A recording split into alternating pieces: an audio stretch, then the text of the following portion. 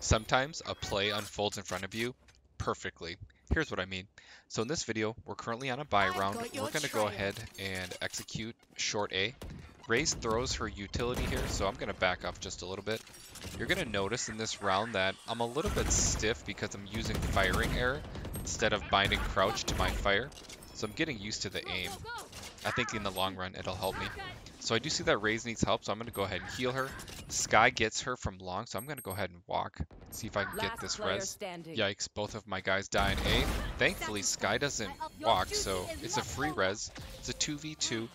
I'm going to slow up the entrance so they can't rush in and get me while I plant. I'm going to go ahead and plant at the default location. And you know what's going to happen next. We're going to wall up the spike. So since Raze is in hookah, I'm going to go ahead and run into elbow. I'm going to reload here. One enemy Raze gets the enemy Raze. It's a 2v1. We're in excellent shape. So as I walk into elbow, Yoru ults.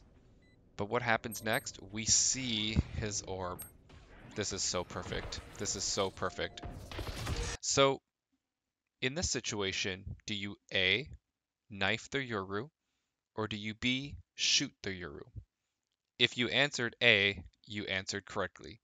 In this situation, you knife the Yoru. Thank you for watching, and I hope that this can help you win some rounds.